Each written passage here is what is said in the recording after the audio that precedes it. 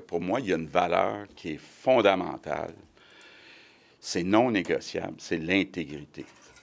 Puis, ben, il faut se rappeler un petit peu de l'histoire euh, des dernières années au Québec. On a eu la commission euh, Charbonneau, on a eu euh, des décisions qui ont été prises à l'unanimité de dire on va avoir la majorité du financement des partis politiques qui va être du financement public.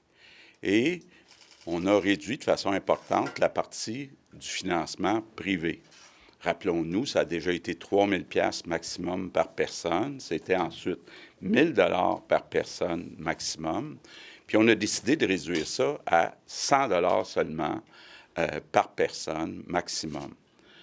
Par contre, je me rends bien compte qu'il y a euh, des doutes encore euh, chez plusieurs personnes sur ce financement privé.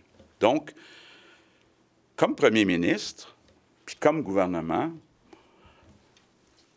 on prend toutes sortes de décisions. C'est normal que euh, les citoyens ne soient pas toujours d'accord avec nos décisions. Mais moi, il y a une chose que je ne suis pas capable d'accepter, c'est qu'on remette en question mon intégrité, l'intégrité de mon parti, de nos députés, de notre gouvernement. Pour moi, là, euh, c'est ce qui est le plus précieux, euh, l'intégrité. Donc, je vous annonce qu'à partir de maintenant, la CAC va renoncer au financement privé. Donc, euh, tant qu'il n'y aura pas d'entente avec les autres partis, puis avec le directeur général des élections, bien, il ne va plus y avoir de dons politiques à la CAC. Et j'ai demandé d'abord au ministre responsable des institutions démocratiques, Jean-François Roberge, d'entrer en contact avec les autres partis politiques pour essayer de trouver des solutions à ce problème qui est mauvais, en fait, pour toute la classe politique. Mais d'ici à ce qu'on trouve peut-être des solutions, ben la CAQ va renoncer aux dons politiques. Donc, va renoncer à beaucoup d'argent, mais on va se débrouiller avec la partie du financement qui est publique mon intégrité, l'intégrité de nos députés, de notre gouvernement, de notre parti, c'est ce qui est le plus important. Ça n'a pas de prix. Et donc, c'est une décision euh, euh, qui est peut-être euh, nouvelle, je dirais, parce que je pense que la première fois ça se fait. D'ailleurs, ça va peut-être prendre quelques temps, j'espère le, moins de temps possible pour qu'on s'entende avec le directeur général des élections. J'ai demandé à notre directrice générale de la CAC donc d'entrer en contact avec le DGEQ parce qu'on on, continue de recevoir euh, des dons politiques. Donc, euh, on va arrêter de recevoir ces dons politiques, là, puis on va trouver une façon d'y arriver avec le directeur général des élections. parce qu'en même temps, vous êtes le parti au pouvoir, vous êtes donc celui qui a eu le plus de votes et donc c'est vous qui recevez le plus de financement de l'État. Alors peut-être que pour un parti au pouvoir, c'est facile de dire on arrête les contributions au privé, mais pour tous les autres euh, partis émergents, là, vous le savez que vous, euh, décochez un coup aux autres partis, vous le savez. Bien, écoutez, d'abord, euh, si je regarde le financement privé, c'est à peu près un million par année euh, pour la CAC. Donc, on renonce à un million par année. Donc, c'est quand même pas rien. je pense que, écoutez, c'est trop important pour moi, l'intégrité. donc, on renonce à cette partie-là.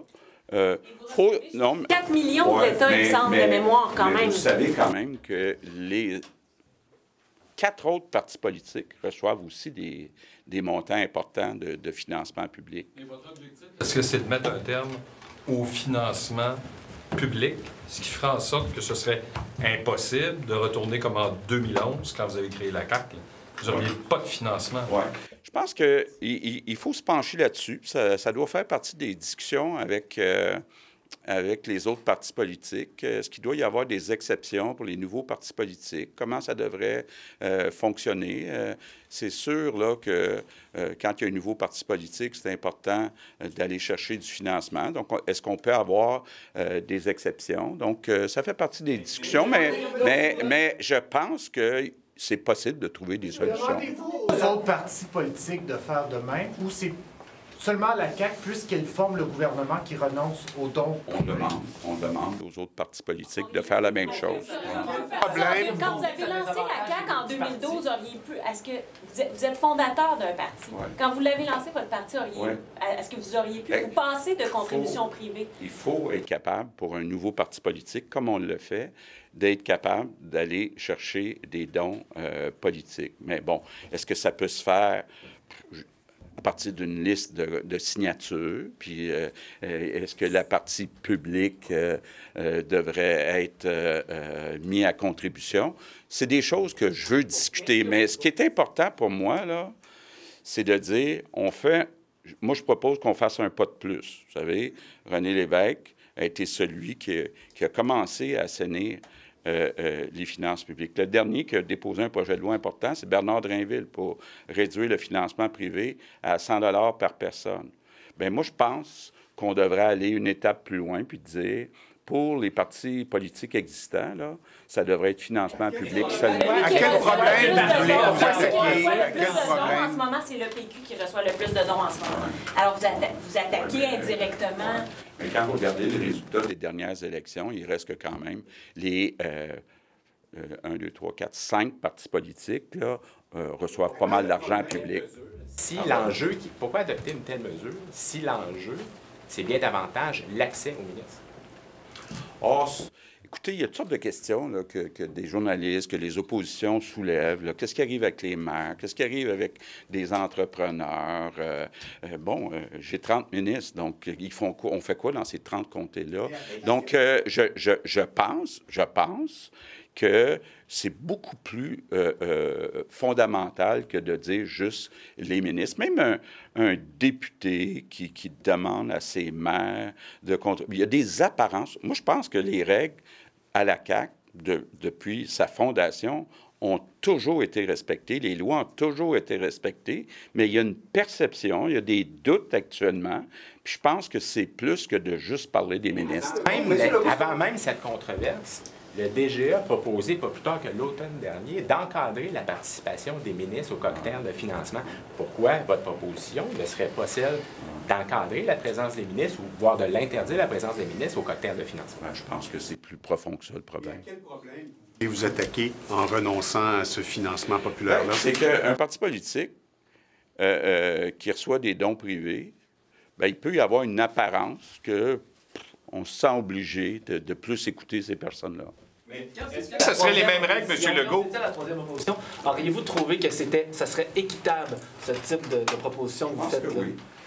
donc, d'avoir moins de financement que le parti au pouvoir, ça vous aurait, vous auriez été d'accord avec ça? Oui, oui. Puis c'est, la même chose à l'Assemblée nationale pour euh, les budgets de recherche et tout ça.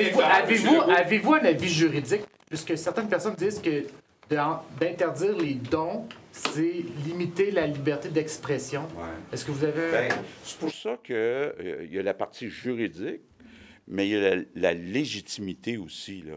Je pense pas que même si on est majoritaire, on pourrait tout seul, la CAQ, changer la loi. Là. Je pense qu'il doit y avoir euh, un accord des euh, autres partis aussi. Est-ce que les règles, vous proposez la même chose, même en période électorale? Parce qu'en période électorale, il y a des règles différentes sur le financement. Là. Alors, est-ce qu'en période électorale, il y aurait des exceptions? Est-ce qu'on pourrait aller faire du financement en période électorale? Bien, les mêmes questions euh, se posent en période électorale la personne qui, qui, qui, est le chef, euh, qui, est en avance d'un sondage, euh, il est vu comme le prochain premier ministre. Donc, euh, les mêmes questions, les mêmes doutes se posent. Attraction, M. Legault, la question du financement. Est-ce que fonder le, financement des partis politiques uniquement selon les résultats électoraux, c'est plus juste? Bien, moi, je pense que c'est un choix qu'on a fait graduellement au Québec, que la portion publique soit de plus en plus grande? Est-ce que, par exemple, pour les nouveaux partis politiques, il pourrait y avoir euh, euh, des nouvelles règles? On est ouvert à ça, puis on doit en discuter, mais je pense que le financement privé, de dire il y a des individus qui viennent donner de l'argent à des partis politiques, même si c'est juste pour nous encourager, il y, aura toujours un doute euh, sur euh, les intentions.